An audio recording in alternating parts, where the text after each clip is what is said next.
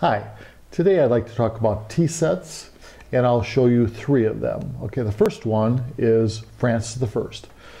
Kind of an interesting story on this one. Reed and Barton went bankrupt last year and they sold the contents of the Reed and Barton Museum in Taunton and we bought this tea set that they had on display at the Reed and Barton Museum. It's a beauty. Now, the Francis I tea set was the probably the prettiest and the best-selling tea set of the 20th century. This one's from the 1950s. It contains six pieces, coffee, tea, sugar, creamer, waste, kettle on stand, and tray. And it's, it's a beautiful tea set. It's one of our most popular and very heavy, very well done and the fact that it's from the museum makes it very special. Thank you. Okay, this is our second tea set. This one is by the Towle Company, and the pattern is Paul Revere. They made a corresponding flatware pattern, and that's why this would be collectible. Actually, the hollowware in Paul Revere is gorgeous. The flatware, not so much. They made interesting things in the flatware, but the pattern is not that interesting.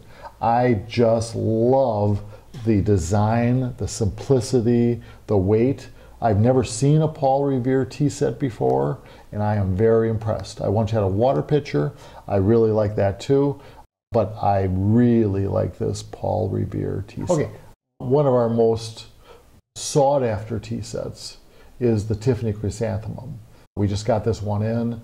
They are beautiful, they are fairly rare, they are very desirable. So this tea set is from the 1880s. It has the same six pieces and a tray.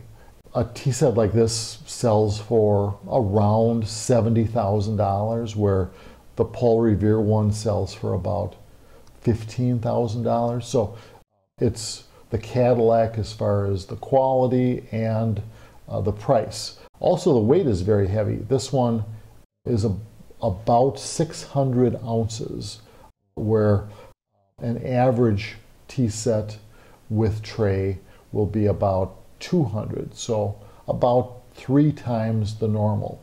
Uh, one other exceptional thing about this tea set is that the tray has all bright cut chrysanthemums all over it, and that was only done for special tea sets and very early. So a magnificent tea set. Okay, so uh, I'd like to talk about the pieces that are normally contained in a tea set. And so this taller pot here is the coffee pot. The smaller one is the teapot. This one on the stand is called the hot water kettle. It tips. And then there is a sugar bowl there is a creamer, and there is a waste bowl. I often get asked what the waste bowl is for.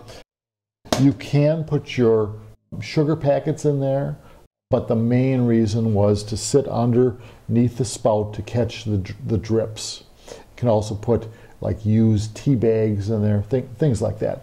A rare piece of the tea set is the coffee urn. So you put coffee in here, it keeps it warm, and then you just use this little spigot in the front to release the coffee. Okay, now, should you buy a tea set? Why should you do it? Well, number one, it's a beautiful piece. You know, they're really good looking and, you know, they're, they are a piece of art. Okay. Number two is probably investment. So back in the early 1960s, my grandparents had a Francis I tea set. And they were looking to sell it. And my parents didn't have a lot of money. And so they offered it to them for $300, a seven piece Francis I tea set. It was a good deal. It's probably something that at that time would be on the market for a little less than $1,000. And so my parents did buy it. It was quite expensive for them at the time. Today, uh, that tea set would sell for uh, twenty-five to thirty thousand dollars. It was quite a good investment if you bought it, you know, during the 1960s and held it till today. And then, you know, it's a really nice accent. You know, looks beautiful on on a coffee table or in your dining room. But the original purpose of a tea set is to serve coffee and tea. And I have never served coffee and tea from a Sterling tea set. And I think most of the customers who bought them from me, and I've sold a lot of tea sets in the last 30 years, very few of them ever use it. And so its original purpose, not so much, but there are other reasons to buy a tea set. Thank you.